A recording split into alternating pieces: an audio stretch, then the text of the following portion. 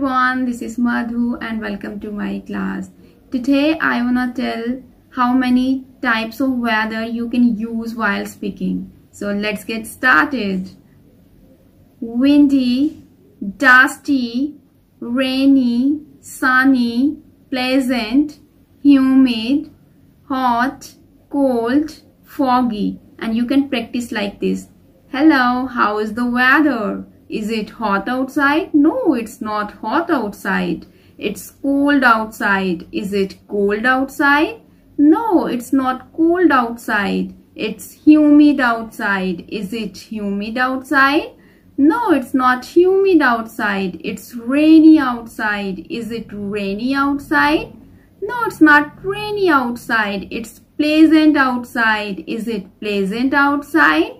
No, it's not pleasant outside. It's humid outside. Like this. Okay, bye-bye. Keep practicing.